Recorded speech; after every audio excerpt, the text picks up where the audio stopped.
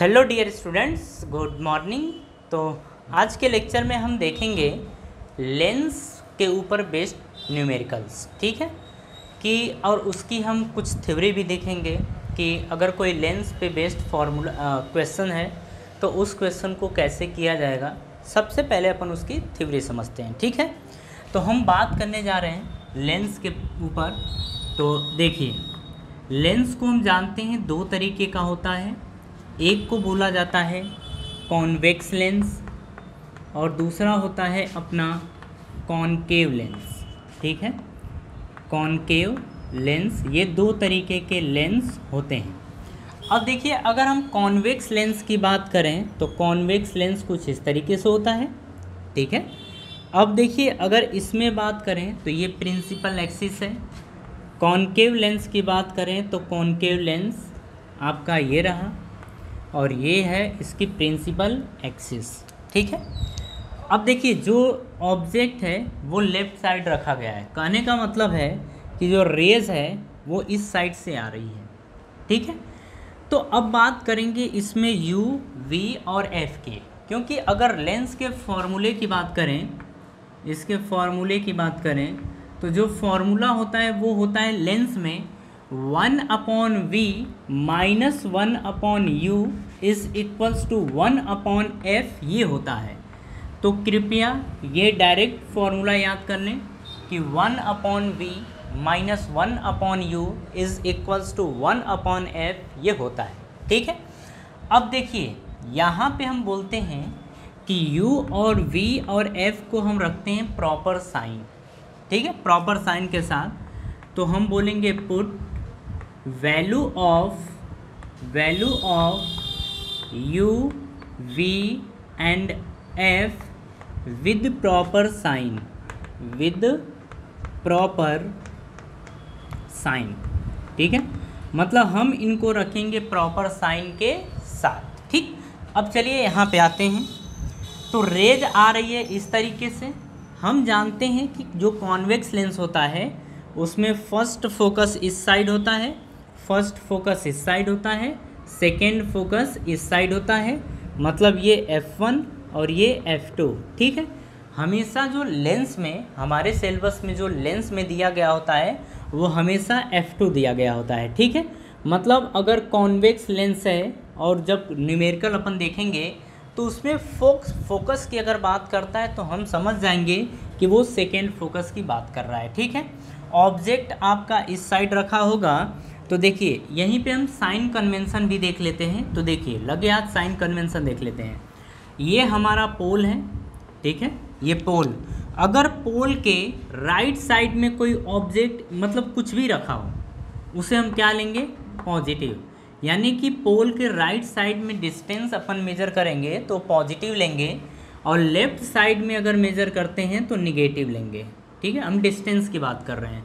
Left और right में हम डिस्टेंस की बात कर रहे हैं। उसी तरीके से, देखिए ये भी है हमारा डिस्टेंस उसी तरीके से अगर बात करें कि हम हाइट को ऊपर की डायरेक्शन में देखते हैं तो जो हाइट मिलेगी, या जिसे बोलेंगे लेंथ लेंथ मिलेगी, वो होगी पॉजिटिव ठीक है? आप इस साइड लें या इस साइड लें लेंथ कैसी होगी? पॉजिटिव होगी। लेकिन अगर नीचे की डायरेक्शन में लेंथ दे रखी है, क्या चीज़ दे रखा है? लेंथ दे रखा है। तो वो लेंथ निगेटिव होगी। इतनी बातें आपको समझनी है। तो लेंथ कैसी होगी? निगेटिव तो पोल के अगर राइट right डायरेक्शन में आप कोई भी डिस्टेंस मेज़र करते हैं तो वो पॉजिटिव होगा। लेफ़्ट साइड में डिस्टेंस नेगेटिव होगा। पोल के अपर साइड में लेंथ की बात करते हैं तो लेंथ होगी पॉजिटिव अगर नीचे लेंथ की बात करते हैं तो लेंथ होगी निगेटिव तो ये आपका साइन कन्वेंशन है। इसे क्या बोलते हैं? साइन कन्वेंशन और ये आपको याद रखना पड़ेगा, ठीक है? इसे आप स्टार बना के लिख लीजिएगा, ठीक है? इसे अलग से बताना था, लेकिन कोई नहीं, यहीं पे चल जाएगा। अब देखिए ऑब्जेक्ट को हम रखेंगे हमेशा इस डायरेक्शन में, इसके इस साइड हम रखेंगे ऑब्जेक्ट को। तो देखिए अगर हम बात कर रहे हैं कि पोल से अगर लेफ़्ट साइड के डिस्टेंस की बात करें तो कैसी होगी? निगेटिव। मतलब u की वैल्यू हमें कैसी मिलेगी? निगेटिव मिलेगी। ठीक है? अब देखिए, यहीं पे बात करें, अगर इस साइड में इमेज बन रही है, ठीक है? अगर राइट साइड में इमेज बन रही है तो यहाँ से मिलेगा v और v की वैल्यू फिर क्या हो जाएगी? पॉजिटिव ठीक है? लेकिन अगर यहीं पे हम बात करें, देखिए, इधर हमने रखा था ऑब्जेक्ट को। मतलब ये हमारा ऑब्जेक्ट है तो ऑब्जेक्ट यहाँ पोल से जो डिस्टेंस मिलेगी, ये डिस्टेंस होगी u और u की वैल्यू होगी निगेटिव ठीक है? लेकिन अगर बाई द वे इमेज भी इसी साइड बन गई, मान लेते हैं कि ये बनी है इमेज ठीक है?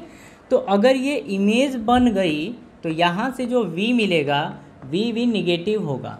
मतलब अगर हम पोल से डिस्टेंस की बात करें तो ये निगेटिव होगा। बट आप एक हमेशा बात ध्यान रखना कि जो कॉन्वेक्स लेंस है, उसमें जो फोकस मिलेगा, वो हमेशा सेकेंड फोकस लेते हैं और ये ऑलवेज पॉजिटिव होता है।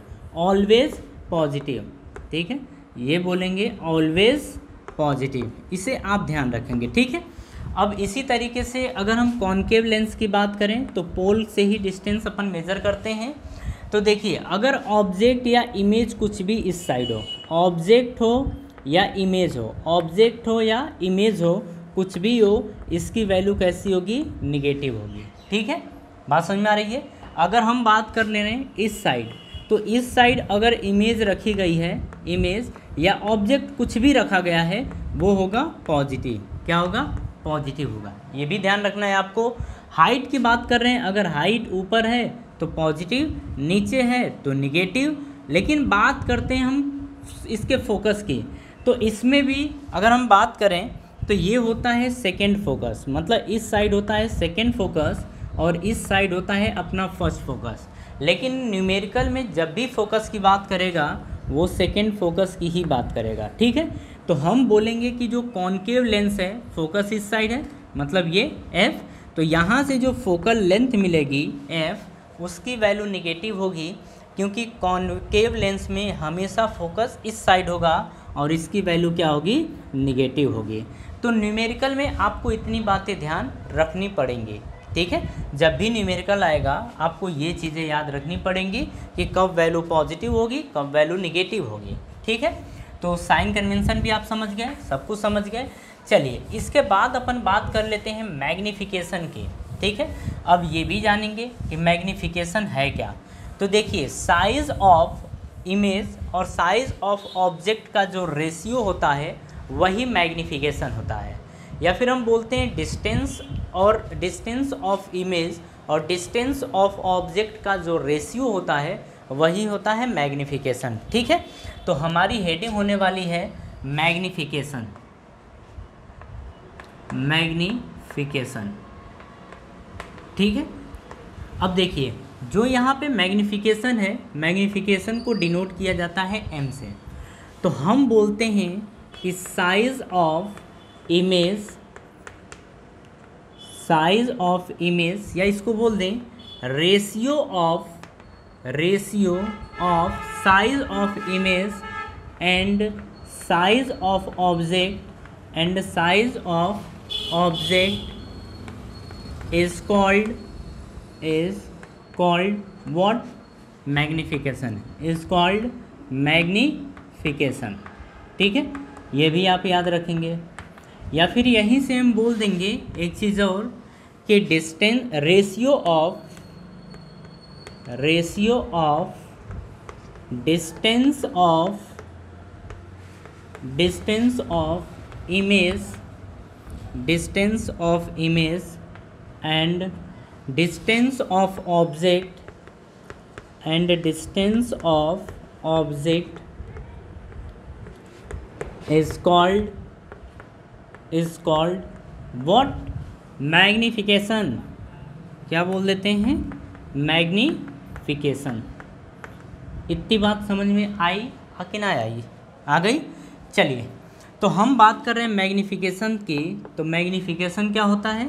अभी हमने देखा कि size of image size of image और यहाँ पे बोलेंगे size of object size of object ये हो गया।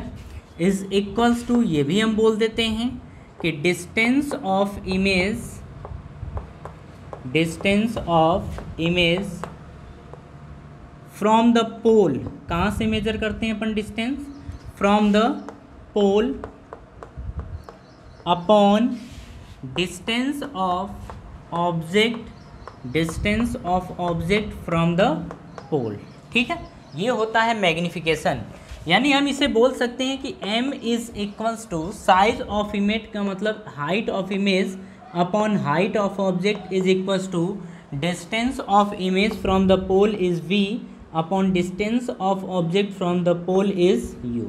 ठीक है? ये चीज़ होता है मैग्निफिकेशन तो खैर, आपको ये याद रखना पड़ेगा।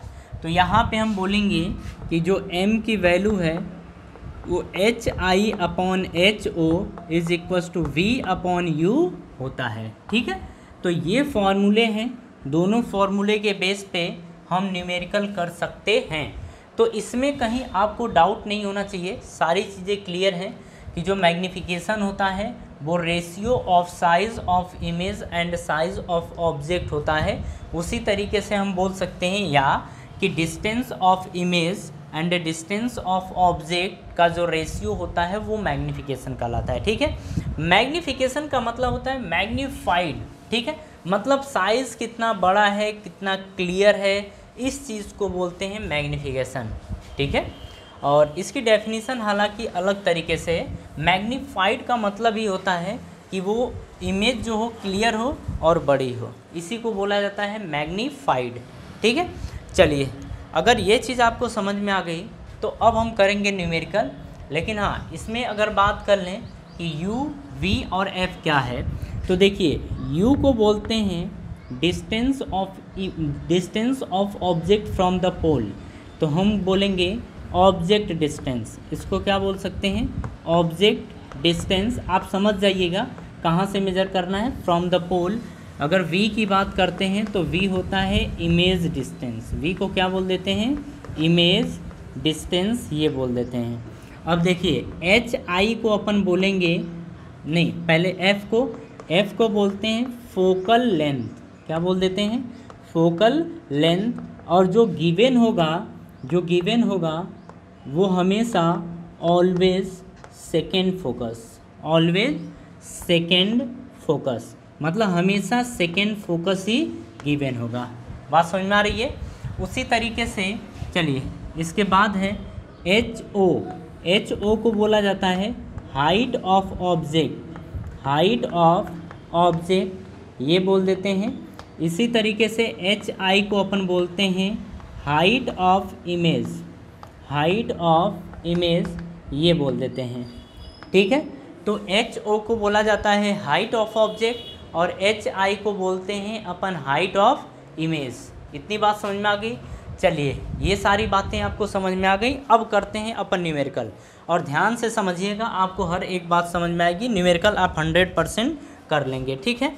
देखिए फ़र्स्ट क्वेश्चन हमारा दिया गया है कि an object of height four centimetre is placed at a distance twenty four centimetre in front of a convex lens of focal length 8 centimetre इसमें फ़र्स्ट बोल रहा है कि find the position and size of image second बोल रहा है कि state the characteristics of the image ठीक है? ये बोल रहा है। अच्छा क्वेश्चन करने का तरीका होता है। अगर हम क्वेश्चन को अगर प्रॉपर वे में करते हैं तो हमें क्वेश्चन करने में बहुत आसानी होती है। और क्वेश्चन करने का तरीका क्या है? देखिए, बोल रहा है कि an object of height four centimetre यानी कि हाइट ऑफ़ ऑब्जेक्ट को किससे दिखाते थे? एचओ से।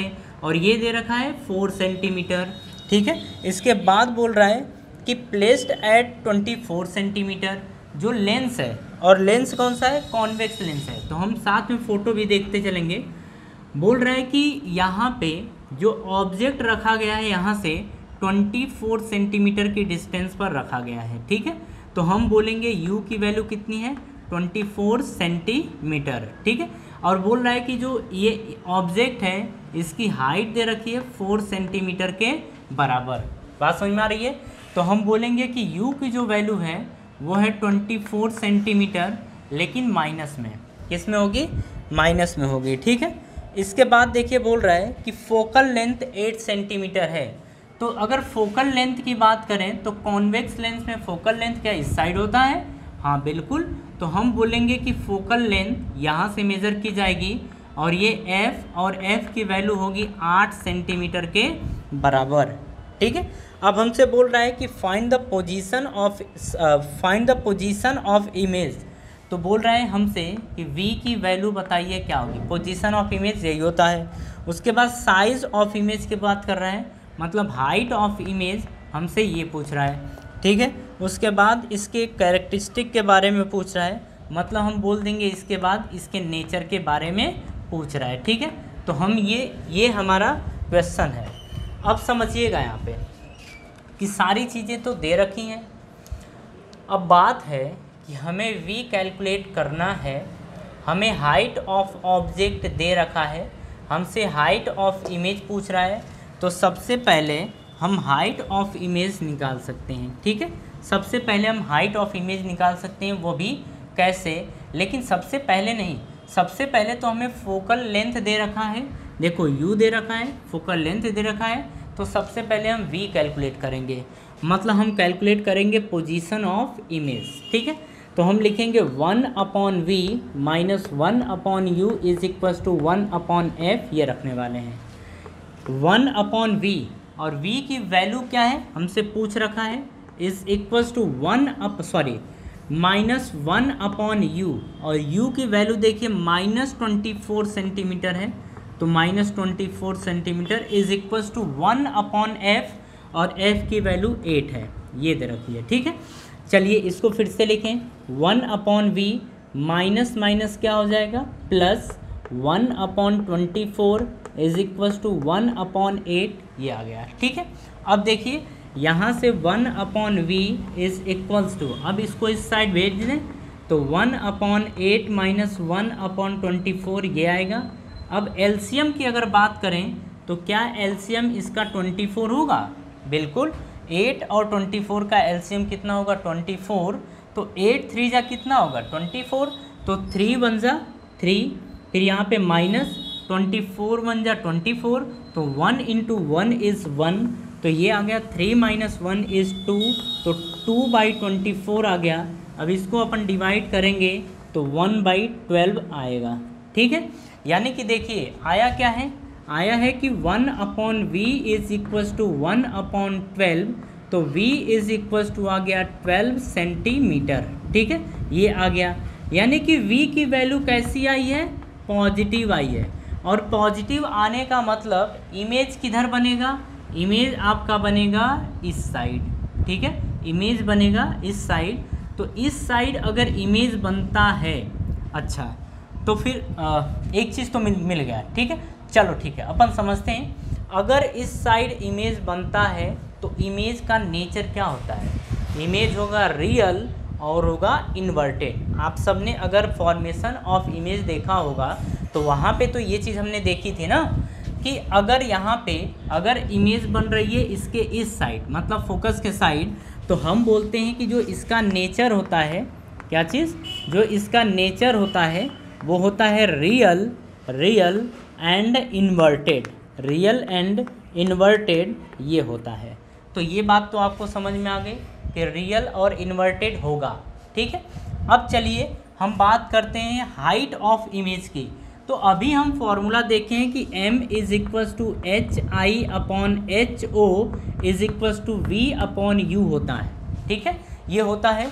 हाइट ऑफ़ इमेज हमसे पूछा है।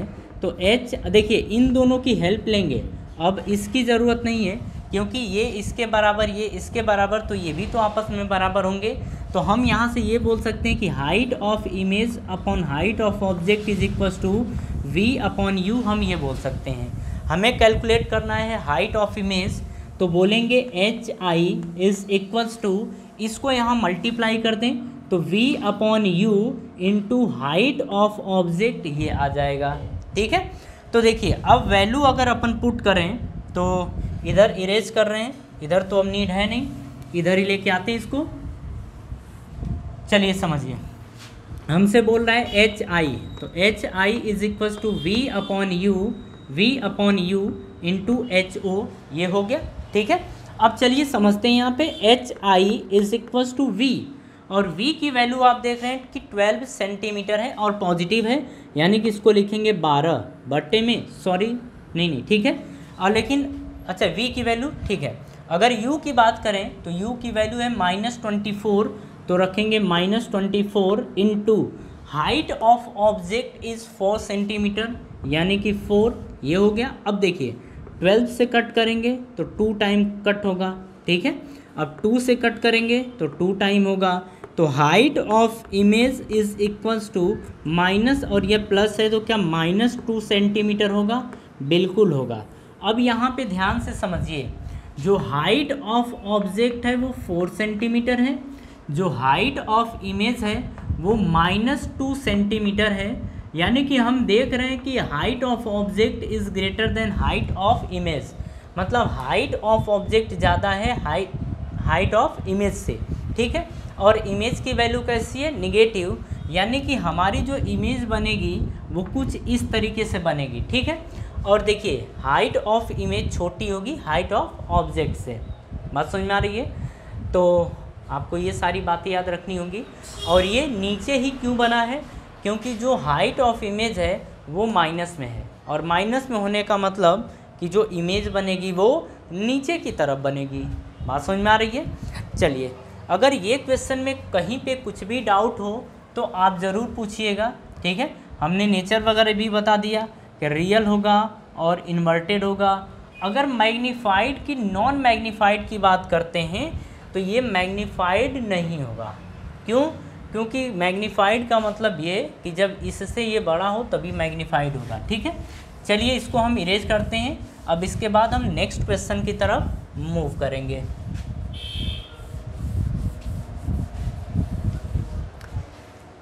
चलिए नेक्स्ट क्वेश्चन देखिए क्या लिखा है। बोल रहा है कि the focal length of a camera lens is 20 centimetre find how far away from the film must be the lens be set in order to photograph an object located at a distance 100 centimetre from the lens ठीक है? मतलब ये बोल रहा है कि image कहाँ पर बनेगी? ठीक है? अगर किसी फोटोग्राफ के द्वारा अपन फ़ोटो लेते हैं तो उसकी इमेज कहाँ पर बनती है, इसकी बात ये पूछ रहा है। लेकिन आप एक चीज़ पहले समझ लीजिए कि जो फोटोग्राफ वगैरह होते हैं ठीक है? उसमें जो लेंस यूज़ किया जाता है वो कॉन्वेक्स लेंस होता है। कौन सा लेंस होता है? कॉन्वेक्स लेंस होता है। अब चलिए इस न्यूमेरिकल को अपन करते हैं। बोल रहा है कि focal length of camera lens माँ, ये लेंस रहा, ठीक है? अब फोकल लेंथ की बात कर रहे हैं तो फोकल लेंथ क्या हमेशा इस साइड होता है?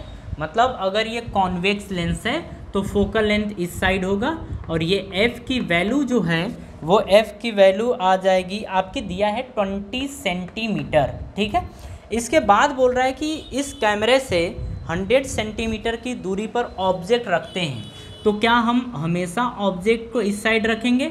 और ये जो डिस्टेंस दे रखी है इस पोल से, ये दे रखी है हंड्रेड सेंटीमीटर के बराबर, ठीक है? हमसे पूछ रहा है कि इमेज कहाँ पर बनेगी, ठीक है?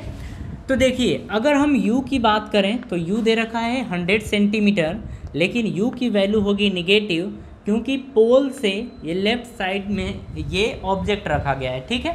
हमसे पूछ अच्छा f की बात करें तो f होगा पॉजिटिव क्योंकि ये पोल से राइट साइड है, ठीक है? चलिए, अब अगर बात करें तो हमसे पूछा है v की वैल्यू तो देखते हैं कि v की वैल्यू क्या आएगी। हम लिखेंगे one upon v minus one upon u is equals to one upon f, ये पुट करेंगे। अब देखिए, वन अपॉन वी रहने देंगे। इज़ इक्वल्स टू हम यही ना कर दें कि one upon f plus one upon u. अब देखिए, ये हो गया। अगर इसके एलसीएम की बात करें, हम चलो दूसरे तरीके सॉल्व कर लेते हैं। अगर इनके एलसीएम की बात करें तो यू एफ़, यानी कि एफ़ यू, ये एलसीएम होगा। अब एफ़ से एफ़ कटेगा तो यू बन जा यू बीच में प्लस है तो प्लस यू से यू कटेगा तो f into one is f ये आ जाएगा, ठीक है? चलो u की बात करते हैं तो u की वैल्यू है हंड्रेड तो यहाँ पे रखेंगे माइनस हंड्रेड अब देखिए प्लस में f की वैल्यू है ट्वेंटी तो प्लस ट्वेंटी अपॉन में, अब देखो, f की वैल्यू दे रखी है प्लस ट्वेंटी तो ट्वेंटी इंटू यू की वैल्यू दे रखी है माइनस हंड्रेड तो यहाँ पे रख देंगे माइनस हंड्रेड, ठीक है? अब देखिए, माइनस हंड्रेड में से अगर ट्वेंटी घटाएँगे तो ये माइनस एट्टी बनेगा, ठीक है? अब इंटू अब यहाँ पे करेंगे माइनस और इसके आगे प्लस है तो क्या माइनस आएगा? माइनस का प्लस में अगर मल्टीप्लाई करेंगे तो माइनस। अब ट्वेंटी इंटू हंड्रेड तो हम लिख देंगे ट्वेंटी इंटू हंड्रेड, ठीक है? देखो, ये से ये गया, अगर हम काटें तो बीस चौक को अस्सी और चार से सौ काटें तो पच्चीस चौक को सौ, यानी कि ये आ गया वन अपॉन ट्वेंटी फाइव के बराबर। ठीक है? यानी कि हम देख रहे हैं कि वन अपॉन वी की वैल्यू जो आई, वन अपॉन ट्वेंटी फाइव आई है तो जब इसको पलटेंगे तो ये भी पलट जाएगा। यानी v की वैल्यू आ गई है ट्वेंटी फाइव, और ट्वेंटी फाइव ये वैल्यू पॉजिटिव है कि निगेटिव है? तो बोलेंगे पॉजिटिव है। वैल्यू कैसी है? पॉजिटिव। मतलब जो कैमरा है कैमरे से जो फ़ोटो खींचा जाएगा, वो इमेज इस साइड बनेगी। इमेज इस साइड बनेगी और अगर आपसे पूछ दे, यहीं पे नेचर बताइए तो आप बोलेंगे कि इमेज बनेगी उल्टा। क्यों? क्योंकि अगर कॉन्वेक्स लेंस के राइट साइड में इमेज बनती है तो हमेशा वो अपोजिट होती है। तो अगर हमसे एक बढ़ के क्वेश्चन पूछ दे कि चलिए इसका नेचर बताइए तो हम बोलेंगे कि रियल होगा क्योंकि जब भी इमेज इसके इस साइड बनती है रियल होती है एंड इन्वर्टेड होगा। एंड इन्वर्टेड तो रियल एंड इन्वर्टेड ये होगा इसका नेचर ठीक है? तो ये भी क्वेश्चन बेहतर क्वेश्चन है। चलिए कुछ क्वेश्चंस की और अपन बात करते हैं। चलिए नेक्स्ट न्यूमेरिकल अपन देखते हैं। बोल रहा है कि a convex lens form an image 16 centimetre long of an object 4 centimetre long kept at a distance 6 centimetre from the lens the object and the image are on the same side of lens. First पूछ रहा है कि what is the nature of image second पूछ रहा है find position of image and the focal length of lens ये हमसे question पूछ रहा है, ठीक है? सबसे पहले क्वेश्चन का आंसर तो हम ऐसे ही दे देंगे। देखिए, हमसे पूछ रहा है कि एक कॉन्वेक्स लेंस है, ठीक है? और इस कॉन्वेक्स लेंस में जो इमेज और ऑब्जेक्ट है, दोनों सेम साइड है। तो देखिए, हमने इमेज फॉर्मेशन के टाइम देखा था कि अगर ये ऑब्जेक्ट है, ये इमेज है। अगर ये ऑब्जेक्ट है और ये इमेज है अगर दोनों एक साइड में हों तो इमेज हमेशा वर्चुअल बनेगी। इमेज कैसा बनेगी? वर्चुअल बनेगी। तो एक तो हो गया। हमसे पूछ रहा था कि what is the nature of image तो हम बोलेंगे कि नेचर कैसा होगा? वर्चुअल होगा। तो एक चीज़ तो हमें पता चल गया कि फ़र्स्ट क्वेश्चन का आंसर है वर्चुअल ठीक है? चलिए, अब सेकंड की बात कर रहे हैं। हमसे सेकंड पूछ रहा है कि पोजीशन ऑफ़ इमेज लेकिन दिया क्या क्या गया है? दिया गया है हाइट ऑफ़ ऑब्जेक्ट ये दिया है four centimetre height of image ये दिया है सिक्सटीन सेंटीमीटर ठीक है?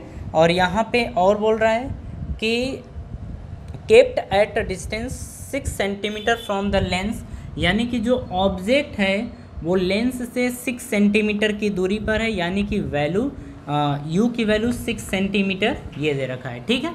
अब हमसे पूछ कर रहा है पोजीशन ऑफ़ इमेज और फोकल लेंथ ऑफ़ लेंस बताइए क्या होगा? तो देखिए, हमें ये पता है कि अगर ये लेंस है तो लेंस के लेफ़्ट साइड में ही ऑब्जेक्ट रखा जाएगा मतलब माइनस होगा। हमसे v की वैल्यू पूछ रहा है और f की वैल्यू पूछ रहा है। देखिए, जब तक हम वैल्यू न पता चले, तब तक हम डिसाइड नहीं करेंगे कि कौन कैसा है। देखिए, हालाँकि हमें पता है कि f की वैल्यू पॉजिटिव आनी चाहिए, लेकिन ये हम इसे मैथमेटिकली प्रूव करेंगे, ठीक है? चलिए, हमसे v पूछ रहा है तो ये चार चीज़ें गिवन है, इनकी हेल्प से निकाल सकते हैं। हमें पता है कि h i upon h o is equals to v upon u ये होता है। अगर हाइट ऑफ़ इमेज की बात करें तो 16 centimetre height of object is 4 centimetre v हमसे पूछा है यू की बात करें तो यू है माइनस सिक्स सेंटीमीटर तो ये दे रखा है, ठीक है? तो वी की वैल्यू क्या आ जाएगी? 16 into minus six minus six upon four ये आएगा। इसको हमने यहाँ भेज दिया तो sixteen into minus six upon four आएगा। चार चौक को सोलह, और ये चार है तो चार का छः में मल्टीप्लाई करेंगे तो माइनस चौबीस आएगा, यानी माइनस ट्वेंटी फोर सेंटीमीटर आएगा। यानी कि जो v की वैल्यू आई है, वो आई है माइनस ट्वेंटी फोर सेंटीमीटर के बराबर। ठीक है? ये आ गया। अच्छा माइनस ट्वेंटी फोर आने का क्या मतलब है? कि जो इमेज है, वो ऑब्जेक्ट के साइड ही बनेगी मतलब इमेज इस साइड बनेगी। ठीक है? बात समझ में आ रही है? चलिए, अब अपन बात करते हैं फोकल लेंथ की। तो अब हम यहाँ से फॉर्मूला लगाएँगे। और फॉर्मूला लगाएँगे तो देखिए हम क्या लिखेंगे कि one upon v minus one upon u is equals to one upon f ठीक है? हमसे बाई द वे एफ़ पूछा है। एलसीएम की बात करें तो वी यू आएगा तो वी यू एलसीएम आ गया। वी से मल्टी डिवाइड करेंगे वी कटेगा तो यू का वन में करेंगे तो यू बीच में माइनस है तो माइनस u का कर क्रॉस करेंगे तो u कटेगा, v का वन में मल्टीप्लाई करेंगे तो v is equals to one upon f आ जाएगा, ठीक है? जब हम f की वैल्यू निकालेंगे तो इसे पलट देंगे और पलटेंगे तो f की वैल्यू क्या आ जाएगी?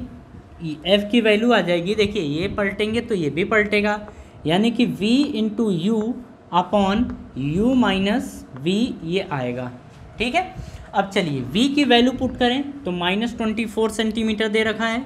तो यहाँ पे रखेंगे माइनस ट्वेंटी फोर इंटू अब देखिए, u की बात करें तो u दे रखा है आपका माइनस सिक्स सेंटीमीटर तो ये रखेंगे माइनस सिक्स अपॉन u की वैल्यू कितनी है? u की वैल्यू है माइनस सिक्स तो माइनस सिक्स इसके बाद माइनस v की वैल्यू है माइनस ट्वेंटी फोर तो लिखेंगे माइनस ट्वेंटी फोर ये आ गया, ठीक है? अब देखिए, इसे अगर सॉल्व किया जाए तो माइनस का माइनस में मल्टीप्लाई करेंगे तो पच प्लस आएगा। यानी कि ट्वेंटी फोर इंटू सिक्स ये आएगा अपॉन में। माइ, देखो, माइनस का माइनस में करेंगे तो प्लस, यानी minus six plus twenty four ये आएगा। अगर इसकी बात करें तो ट्वेंटी फोर इंटू सिक्स ऐसे ही अपॉन में। ये देखिए, चौबीस में से माइनस सिक्स घटाएँगे तो क्या प्लस अट्ठारह बचेगा? बिल्कुल बचेगा। तो अब देखिए, यहाँ पे हम f की वैल्यू कैलकुलेट करना चाहते हैं। तो f की वैल्यू आई है ट्वेंटी फोर यहाँ से देखिए, यही लिख रहे हैं। Twenty four into six upon eighteen यह है छः तरीके अट्ठारह और तीन आठ चौबीस, यानी कि एट आ गया। यानी f की वैल्यू आ गई है एट सेंटीमीटर और ये हमने देखा कि पॉजिटिव आई है। कैसी आई है? पॉजिटिव आई है इसका मतलब कॉन कॉन्वेक्स लेंस में जो फोकस होता है, इस साइड होता है, और जो फोकस होगा इस लेंस का, वो इस साइड और आठ सेंटीमीटर के बराबर होगा। ठीक है? मतलब इसमें अगर लेंस पे बेस्ड क्वेश्चन आता है तो आपको कहीं पे कोई भी डाउट नहीं होना चाहिए। ठीक है? बात समझ में आ रही है? तो इसे कॉपी करिए। हम इसके आगे मूव करते हैं।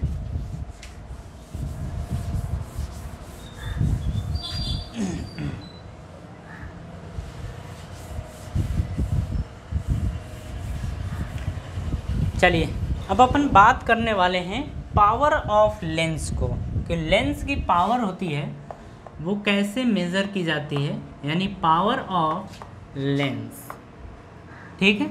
इसको P से डिनोट किया जाएगा तो देखिए, अगर हम बात करें पावर ऑफ़ लेंस की तो P इज़ इक्वल्स टू होता है one upon focal length one upon focal length और जो फोकल लेंथ होती है उसे हम हमेशा लेंगे मीटर में। तो इन मीटर। तो जो पावर ऑफ़ लेंस होती है, वो होता है वन अपॉन फोकल लेंथ और जो फोकल लेंथ होगा, वो हमेशा मीटर में लिया जाएगा, ठीक है? अगर हम इसके यूनिट की बात करें तो देखो पावर की जो यूनिट होती है, वो डायोप्टर होती है। क्या होती है? डायोप्टर और डायोप्टर को हमेशा डायोप्टर को हम डिनोट करेंगे डी से, ठीक है? डायोप्टर को डी से डिनोट किया जाएगा तो ये होगी पावर ऑफ़ लेंस, ठीक है? तो इसमें अच्छा पावर ऑफ़ लेंस का मतलब होता है कि जो लाइट रे आती है, उसको बेंड करने की क्षमता, कैपेसिटी, उसी को बोला जाता है पावर, ठीक है? तो अगर न्यूमेरिकल आते हैं इनके ऊपर तो इनको भी अपन देखने वाले हैं, ठीक है? तो